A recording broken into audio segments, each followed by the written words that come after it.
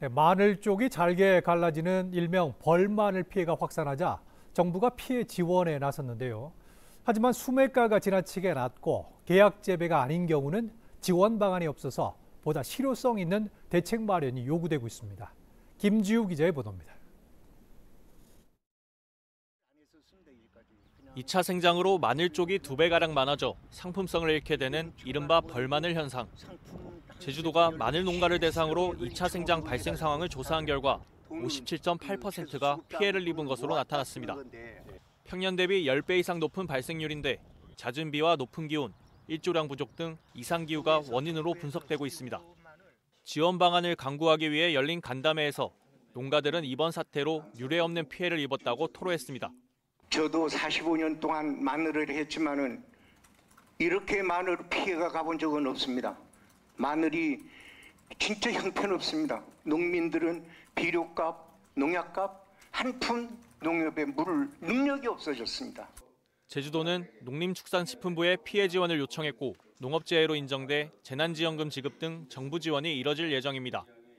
이와 별도로 정부와 농협은 채소가격 안정제 사업비 49억 7천만 원을 투입해 벌마늘 피해를 입은 계약 재배 물량을 수매할 계획입니다.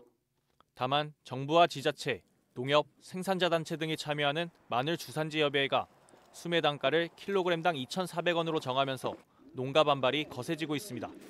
농가에서 요구했던 킬로그램당 3,000원에 미치지 못하기 때문입니다. 정부 승인이 남았지만 최종 수매가는 2,400원에서 크게 벗어나지 않을 전망입니다. 게다가 채소 가격 안정제의 사업비 분담률로 인해 수매가의 20%를 농가가 부담해야 된다는 점도 반발을 키우고 있습니다. 자부담 부분 이런 부분들이 농민들이 굉장히 지금 실망하고 되게 힘들어하고 있습니다. 대승적으로 생각해서 좀 농가들이 그래도 좀 숨통 트이게 해줬으면 하는 바람입니다. 제주도가 벌마늘 피해 신고를 받은 결과 1,360여 농가에서 500헥타르가 접수됐습니다. 정부와 농협은 벌마늘 피해가 전국적으로 확산되고 있고 피해 물량이 적지 않아 수매가를 높이긴 어렵다는 입장입니다.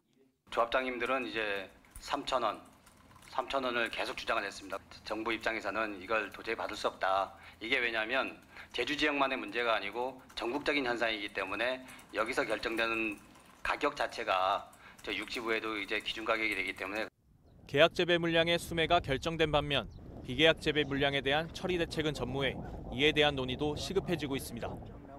KCTV 뉴스 김지우입니다.